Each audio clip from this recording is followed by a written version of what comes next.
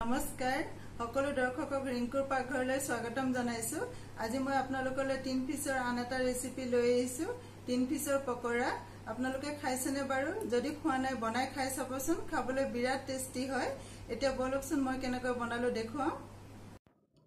মই তিন পিচ দুশ গ্ৰাম লৈছো। গুড়ি মছলা লৈছো জলকীয়া গুড়ি ধনিয়া জিৰা গৰম মছলা এচামুচকৈ। নিমখ লৈছোঁ এচামুচ। কৰ্ণফ্ল'ৰ ডাঙৰ চামুচেৰে তিনি চামুচ। পিঁয়াজ ডাঙৰ এটা সৰু সৰুকৈ কাটি লৈছোঁ। কেঁচা জলকীয়া তিনিটামান আৰু কেঁচা ধনিয়া পাত অলপমান কাটি লৈছোঁ আৰু এটা আলু বইল কৰি লৈছোঁ। এতিয়া গেছটো জ্বলাই কেৰাহীটো বহাই দিলোঁ। কেৰাহীটো গৰম হোৱাত ইয়াত তিনি চামুচমান মিঠাতেল দি দিছোঁ।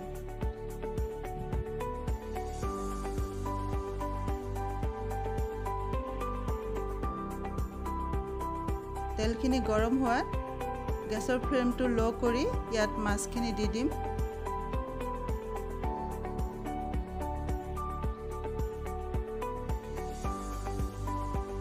এইখিনি দুই তিনি মিনিটমান সময় ফ্ৰাই কৰি ল'ব লাগিব।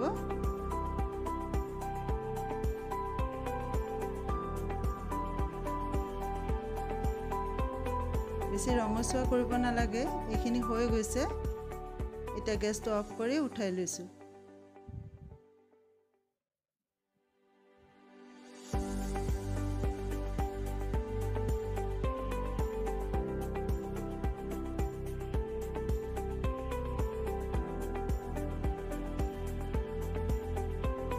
এতিয়া বইল আলুটো ভালদৰে পিটিকি ইয়াত পিঁয়াজ কেঁচা জলকীয়া ধনিয়া পাত দি দিছোঁ।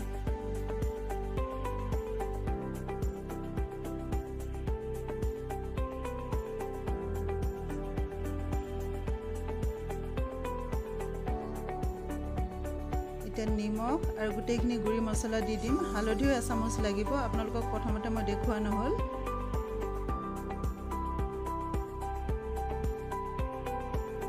এতিয়া মাছখিনিও দি দিলোঁ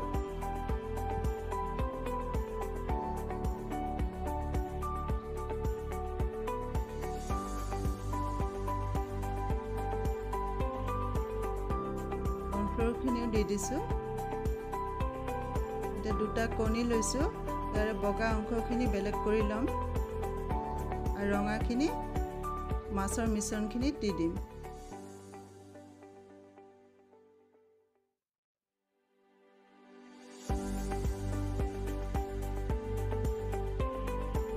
বগা অংশখিনি অলপ ভালকৈ ফেটি ল'ব।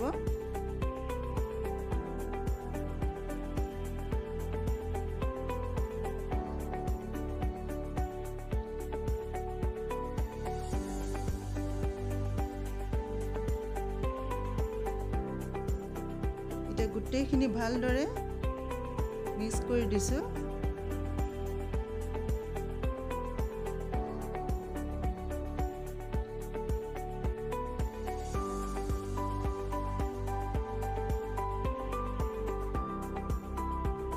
এইখিনি মোৰ হৈ গ'ল। এতিয়া অলপ অলপকৈ এনেকৈ লৈ হাতৰ তলুৱাত পুল কৰি এনেকুৱা চেপত বনাই লৈছোঁ।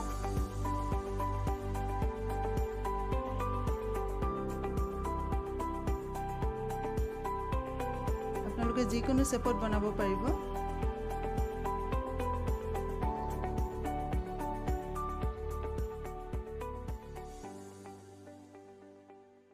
গোল চেপ কৰি অলপমান এনেকৈ হেঁচি দিছোঁ।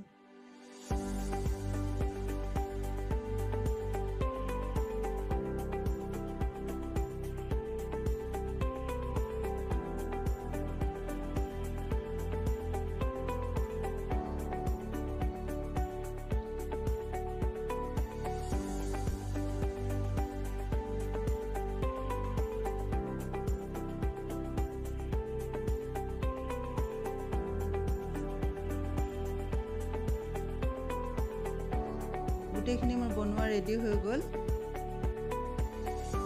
এতিয়া গেছটো জ্বলাই কেৰাহীটো বহাই দিলোঁ। গৰম হোৱাত ইয়াত মিঠাতেল অলপমান দি দিছোঁ।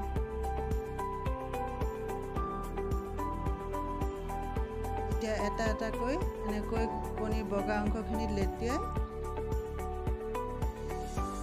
গৰম তেলত দি দিম। গেছৰ ফ্লেমটো একেবাৰে ল' কৰি ল'ব লাগিব।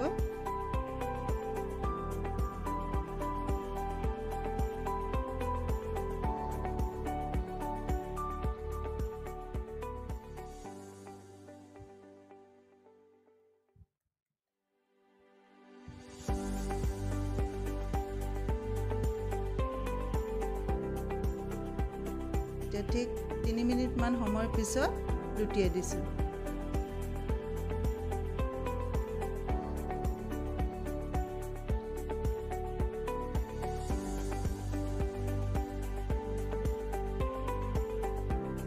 গল্ডেন ব্ৰাউন হোৱালৈ ফ্ৰাই কৰিব লাগিব।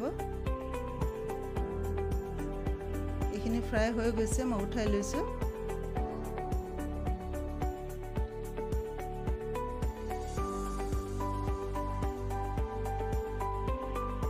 বাকীকেইটাও মই এনেদৰে ফ্ৰাই কৰি লৈছোঁ।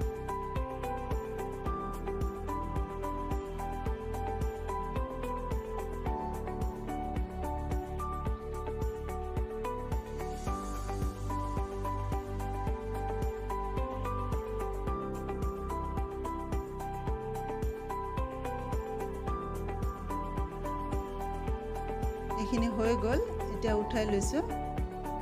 তিন পিচ পকৰা ৰেডি হৈ গ'ল। আপোনালোকে কেনেকুৱা পালে জনাব। খুবেই ধুনীয়া হৈছে। যদি ভাল পালে ভিডিঅ'টো চাই প্লিজ লাইক শ্বেয়াৰ কমেণ্ট আৰু ছাবস্ক্ৰাইব কৰিব।